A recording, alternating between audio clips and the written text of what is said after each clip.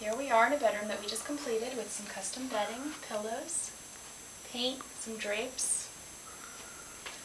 These are the beautiful drapes on a nice decorative rod with the rings and some blackout shades. These are the LiteRise from Hunter Douglas. They're very easy to operate. No cords at all. Makes it for a nice cozy room. And here we have it. The lamps. Okay. You raise it back up. You can actually stop anywhere you like.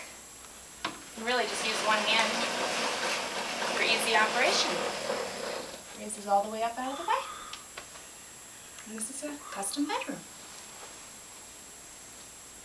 from ES Drapery and Design.